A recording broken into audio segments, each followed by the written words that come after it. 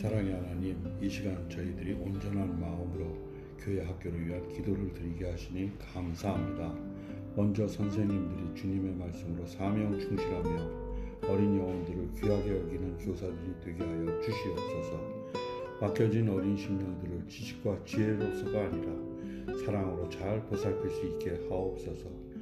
어릴 때부터 주님을 섬기고 주님의 말씀을 가까이 하며 살기를 원하는 어린이 학생, 청년들을 사랑하여 주시옵소서.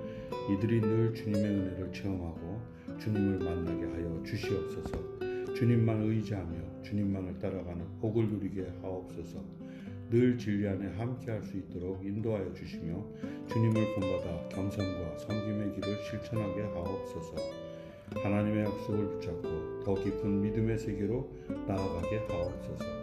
이제 취소된 교회 학교 행사들을 단정하고 화목하고 거룩함으로 다시 실행하게 하시옵소서. 사랑의 하나님 홀로 영광 받으시옵소서. 예수님의 이름으로 기도드립니다.